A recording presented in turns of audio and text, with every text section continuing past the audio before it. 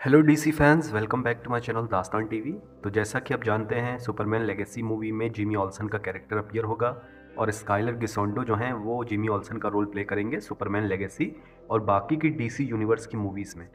तो मैंने सोचा ये बहुत अच्छा टाइम रहेगा जिमी ऑल्सन की ओरिजिन स्टोरी पर बात करने का। तो चलिए बिना टाइम वेस्ट किए आइए शुरू करते हैं। तो जिमी ऑल्सन का full name James Bartholomew Olsen था। उसकी पैदाइश न्यूयॉर्क में हुई। उसके फादर का नाम जेक ऑल्सन और मॉम का नाम सैरा ऑल्सन था। जिमी के फादर एक आर्मी ऑफिसर थे जो साउथ ईस्ट एशिया में एक मिशन के दौरान लापता हो गए। जिमी की परवरिश उसकी मॉम ने की।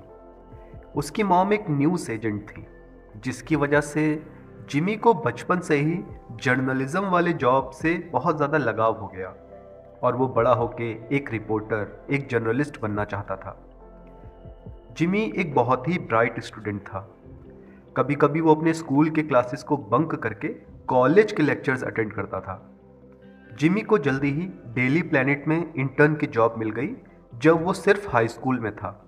जिमी और क्लार्क केंट की पहली मुलाकात the Man of Steel series के इवेंट्स के दौरान हुई।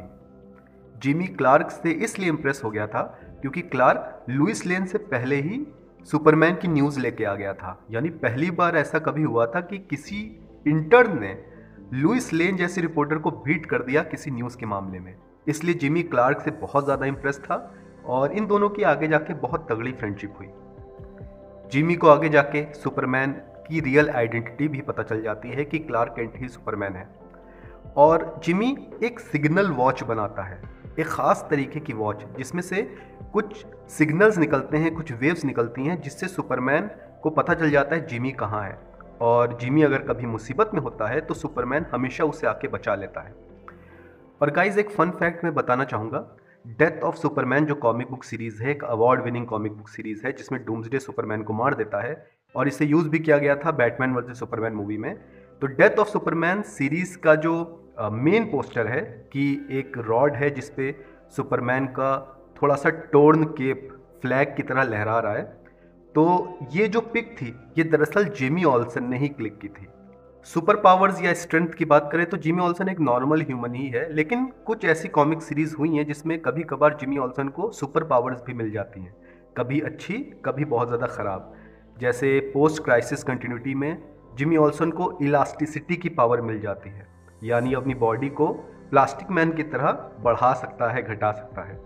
और एक बार रेडियो एक्टिव वेस्ट के एक्सपोजर में आने से जिमी ऑल्सन की बॉडी पूरी रेडियो एक्टिव हो जाती है और जो भी उसके नज़दीक आता है, वो एक तरीके से बीमार पड़ने लग जाता है और उसकी हालत ख़राब होने लग जाती है। लेकिन सुपरमैन किसी तरीके से उसको बचा लेता है। तो जिमी ऑल्सन एक बहुत ही औसम कैरेक्टर है, जो सुपरमैन का बेस्ट फ्रेंड है और क्लार्क एंड सुपरमैन दोनों ही अपनी फीलिंग्स को बांट सकते हैं जिमी ऑल्सन के साथ।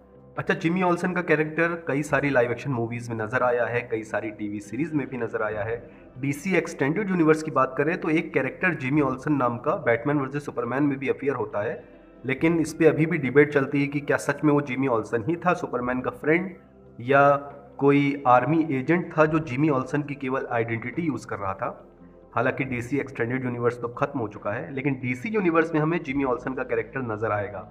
एक fun character light hearted character है, जो सुपरमैन का बेस्ट फ्रेंड है क्लार्केंट का बेस्ट फ्रेंड है। तो एक थोड़ा सा जिसको बोलते हैं ना ब्रोमैंस वाला जो एंगल है, वो सुपरमैन लेगेसी में देने की कोशिश की जाएगी। तो मैं तो बहुत ज़्यादा एक्साइटेड हूँ जिमी ऑल्सन के कैरेक्टर के लिए। और डीसी अपडेट्स के लिए मेरे चैनल को सब्सक्राइब